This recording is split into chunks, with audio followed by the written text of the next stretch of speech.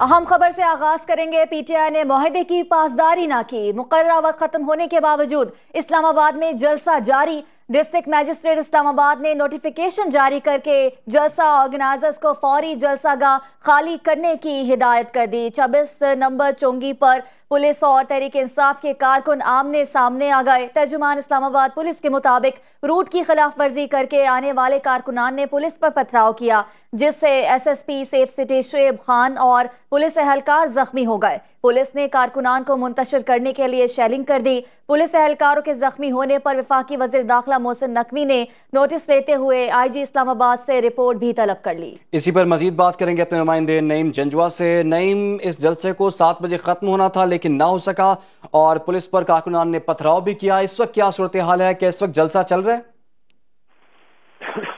جی, جی بالکل۔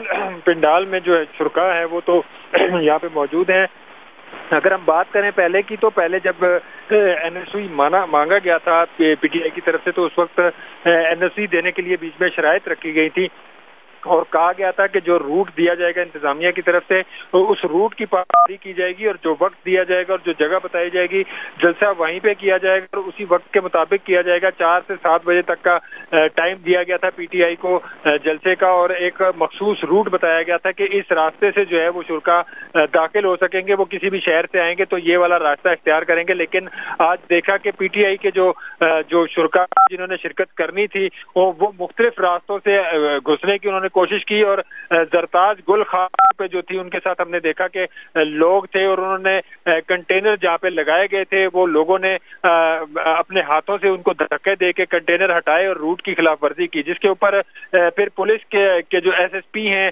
Safe city اور S S P operation ہیں، انہوں نے بات کی جا کے اور انہوں نے کہا کہ آپ کے ایک تو جلسے کا وقت جو ہے وہ بھی ختم ہو رہا ہے اور دوسرا، آپ کی طرف سے روٹ کی خلاف ورزی کی گئی ہے، جس جو معاہدے میں موجود تھا، کہ اس کی خلاف ورزی نہیں کی جائے جائے گی اور جل، جلسے کا وقت ختم ہونے کے بعد یہاں پہ جلسہ نہیں کرنے دیا جائے گا، جس کے بعد جو کارکن تھے جنہوں نے روٹ کی خلاف ورزی کی تھی، اچانک جو ہے ان کی طرف سے پولیس کی طرح کے اوپر پتھراؤ شروع کر دیا، جس میں ایس ایس پی شہر سٹی شعیب خان جو ہے وہ بھی زخمی ہوئے، متعدد پولیس اہلکار جو ہیں وہ بھی اس وقت میں جو ہے وہ زخمی ہو گئے۔ اس کے بعد جو ہے پولیس کی طرف سے شیلنگ کی گئی، جو چنگنی نمبر چھبیس ہے، یہاں پہ کافی دیر یہ علاقہ جو ہے میدان جنگ بنا رہا پھر یہاں پہ بجلی جو ہے وہ بند کر دی گئی۔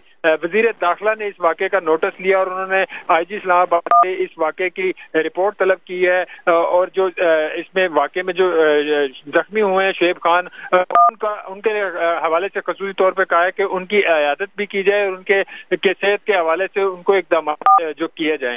ابھی جو ہے یہاں پہ تھوڑی دیر پہلے پولیس کی جانب سے دونوں اطراف سے روڈ کو کھول دیا گیا اور چنگی نمبر چھبیس کے قریب جو ہے وہ روڈ دونوں طرف سے رواں دوا ہے لیکن جو جلسے کے ارد گرد کا جو علاقہ ہے شیلنگ کے بعد اور پتھراؤ کے بعد، یہاں پہ گاڑیوں کی جو لمبی قطاریں ہیں، یہ بھی لگی ہوئی ہیں اور لوگ بری طرح یہاں پہ پھنسے ہوئے ہیں۔ جی۔ اچھا نہیں، یہ بھی بتائیے گا کہ پتھراؤ کے نتیجے میں جو زخمی ہونے والے پولیس اہلکار ہیں، ان کی حالت کیسی ہے اور کتنے اہلکار زخمی ہوئے؟ جی بالکل بتایا جا رہا ہے کیونکہ جس طرح پتھراؤ کیا گیا ہے اور ایسا لگتا ہے کہ جو روٹ کی خلاف ورزی جن پی ٹی آئی ورکرز نے کی ہے وہ پہلے سے تیاری کر کے آئے تھے کوئی پتھراؤ کی یا لاٹھی چارج کی ان کو شاید علم تھا اور اسی وجہ سے یہ جو سڑک ہے یا جو جو علاقہ اتنے یہاں پہ اتنی جلدی پتھر جمع نہیں کیے جا سکتے لیکن جب یہ بات چیت شروع ہوئی اور اچانک ان کی طرف سے ٹھیک ہے نہیں آپ ہمارے ساتھ رہی آپ سے مزید بھی بات کریں گے اس وقت ہمیں چیف کمشنر اسلام آباد محمد علی رندھاوا صاحب نے جوائن کر لیا ہے۔ محمد علی رندھاوا صاحب، آپ کے وقت کا بہت شکریہ۔ کہا گیا تھا کہ سات میں تک اگر جلسہ ختم نہ ہوا تو قانون حرکت میں آئے گا۔ اس وقت بھی جلسہ ختم نہیں ہو سکا۔ کیا انتظامیہ کے تیاری کیا ہے اور کیا احکامات جاری کیے گئے آپ کی طرف سے؟ دیکھیں، میری بات سنیں۔ اگر تو چار سے سات بجے کا جو ٹائم ہے وہ آج تو اناؤنس نہیں ہوا نا؟ یہ تو بڑے عرصے سے اناؤنس ہوا ہے۔ جب این او سی دیا گیا تھا تو جی۔ چار سے سات بجے کا ٹائم اناؤنس ہوا ہوا تھا۔ اب ہم نے تو یہ نہیں کہا کہ کون سا ریلی کتنے بجے نکالے اور کتنے بجے آئے۔ ہمارا جو وینیو ہے اس کے اندر جو ٹائم ہے جو پبلک گیدرنگ کا ٹائم ہے وہ چار سے سات ہے۔ ہم نے تو اس کے اوپر فوکس وی کی ناٹ فوکس کہ کون کہاں پہ ہے۔ ہماری جو ریزیکشن میں چار سے سات بجے کا ٹھیک ہے قطع کلابی کی معذرت محمد علی رندھاوا صاحب آپ سے مزید بھی ہم بات کریں گے۔ اس وقت ہمیں وفاقی وزیر اطلاعات عطا تارڑ صاحب نے جوائن کر لیا ہے۔ عطا صاحب آپ کے وقت کا بہت شکریہ۔ عطا صاحب یہ جو کمٹمنٹ کی گئی تھی آپ سے کہ سات بجے اس جلسے کو ختم کر دیا جائے گا وہ کمٹمنٹ تو فلفل نہیں ہوئی۔ نوٹیفیکیشن بھی جاری ہوا کہ اس جلسہ گاہ کو خالی کر دیا جائے وہ بھی خالی نہیں ہوا۔ اب حکومت کی کیا پلاننگ ہے؟ کیا حکمت عملی آپ کی؟ دیکھیے پہلی بات تو یہ کہ یہ جلسہ مکمل طور پہ ناکام ہو چکا۔ جو یہ کلیم کرتے رہے کہ جی لاکھوں لوگوں کی ہمیں سپورٹ حاصل ہے، لاکھوں لوگ سڑکوں پہ آ جائیں گے، تو کوئی ان کے کہنے پر نہیں نکلا۔ اب جلسے کی ناکامی کو چھپانے کے لیے کبھی پولیس بھی پتھراؤ کر رہے ہیں، کبھی روٹ کی خلاف ورزی کر رہے ہیں، کبھی ایک بہانہ ہے، کبھی دوسرا بہانہ ہے۔ علی امین گنڈا پور صاحب جو ہیں وہ خود لیٹ نکلے اور جان کے لیٹ نکلے کیونکہ وہ دن کی روشنی میں یہاں نہیں پہنچنا چاہتے تھے۔ وہ چاہتے تھے کہ جب میں پہنچوں تو اندھیرا ہو گیا ہو، تاکہ جلسے کی ناکامی چھپائی جا سکے۔ تو دیکھیں، ان کے خلاف، ان کی لیڈرشپ کے خلاف سخت ترین قانونی کاروائی عمل میں لائی جائے گی۔ یہ چیزوں کو ڈائیورٹ کرنا چاہتے ہیں۔ اور یہ پتھراؤ بھی چنگی نمبر چھبیس پہ اس لیے کیا گیا تاکہ لوگوں کے ٹینشن کو ڈائیورٹ کیا جا سکے۔ جلسہ گاہ پہ تو کوئی شیلنگ نہیں ہوئی۔ وہ تو پتھراؤ جب پولیس پہ کریں گے تو پولیس نے جوابی کاروائی کی۔ تو یہ جتنی بھی بہانے لگائے جا رہے ہیں ان کی طرف سے یہ صرف اس وجہ سے ہیں کیونکہ یہ جلسے کی ناکامی کو چھپانا چاہتے ہیں۔ اور یہ جلسے کی ناکامی ایسے چھپے گی نہیں۔